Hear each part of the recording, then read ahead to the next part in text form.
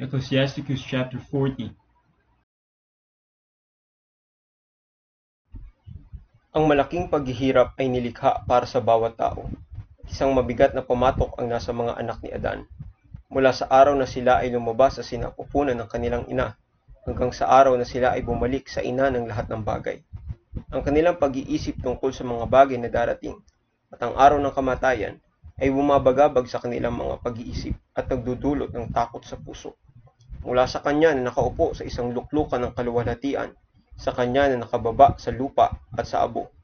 Mula sa kanya na nakasuot ng kulay ube at isang korona, hanggang sa kanya na nararamtan ng isang lino. Puot at inggit, kaguluhan at kabagabagan, takot sa kamatayan at galit at alitan, at sa oras ng pamamahinga sa kanyang higaan ang kanyang pagtulog sa gabi, ay nagbabago sa kanyang kaalaman. Kaunti o wala ang kanyang kapahingahan, pagkatapos ay siya ay natutulog, gaya ng sa isang araw ng pagbabantay nababagabag sa pangitain ng kanyang puso na parang siya ay nakatakas mula sa isang labanan. Pagka ang lahat ay ligtas, siya ay nagigising at namamangha na ang takot ay walang kabuluhan. Ang ganito mga bagay ay nangyayari sa lahat ng laman, maging sa tao at maging sa hayop, at iyon ay pitong ulit pa sa mga makasalanan. Kamatayan at pagdanak ng dugo, alitan at tabak, mga kapahamakan, kagutom, kapighatian at salot. Ang mga bagay na ito ay nilikha para sa masasama. Para sa kanila ay dumating ang baha.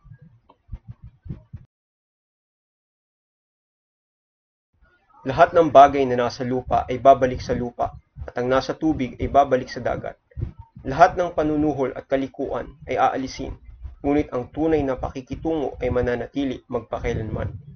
Ang mga pag-aari ng masama ay matutuyo na parang ilog at maglalaho sa ingay, gaya ng malakas na kulog sa ulan.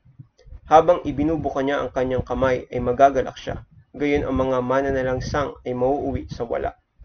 Ang mga anak ng masama ay hindi magbubunga ng maraming sanga, kundi para mga maruming ugat sa ibabaw ng matigas na bato. Ang damong tumutubo sa bawat tubig at pangpang ng isang ilog ay bubunutin bago ang lahat ng damo.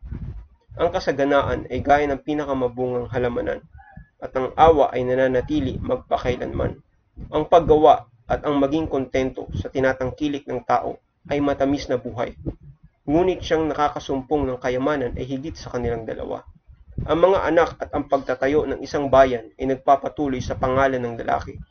Ngunit ang asawang walang kapintasan ay binibilang na higit sa kanilang dalawa. Ang alak at musika ay nagpapagalak sa puso, ngunit ang pag-ibig ng karunungan ay higit sa kanilang dalawa.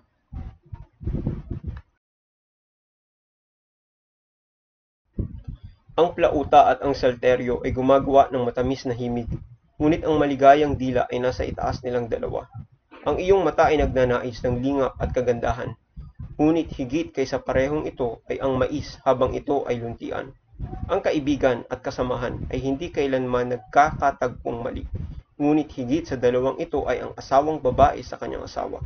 Ang mga kapatid at ang tulong ay laban sa panahon ng kabagabagan ngunit ang paglilimos ay magliligtas ng higit kaysa kanilang dalawa.